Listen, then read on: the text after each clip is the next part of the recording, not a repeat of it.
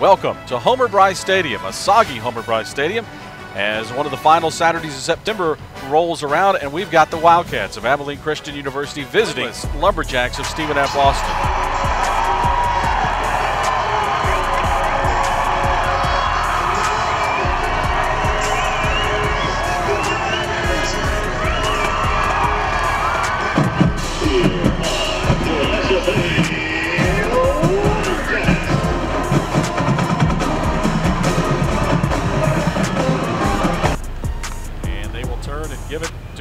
Coming left. Josh with a head of steam. 25 gets to the sideline. 30 can't stay on his feet. Stumbles out of bounds at the 29 yard line.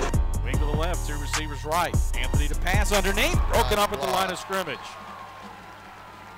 As I think that was Rashad. ACU rushes four. Blumrick sets, throws over the middle, caught midfield. Blumrick to pass, looking, looking, time. Now we'll roll right, still looking, goes downfield, has a man caught out of bounds. Remy Simmons at about the 17 yard line. Edge. Wildcats bring five, bring six. Here's Blumrick going to the end zone, and that one caught. Touchdown, Lumberjacks. Oh, beautiful pass. Put it right where his man could catch it. Over the shoulder.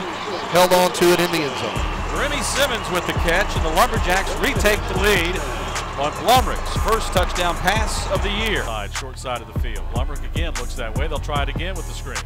Pace again gets a block. Tamrick breaks free at the 50. Tamrick at the 45. Anthony wants to pass. Goes underneath. That one picked off at the 40 yard line. He throws it underneath. The Jacks are there. Lawrence Gonso with the pick. Great coverage. Stepped right in front of the receiver to take that ball.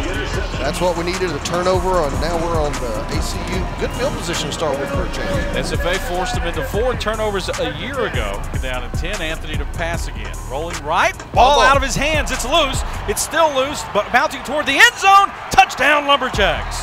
Jackson defensive score. Here's a handoff inside. Covey will keep it. Keep it Oh. around the end. Touchdown, SFA as Covey in from eight yards out. Will not have to snap it again as Abilene Christian can't stop it.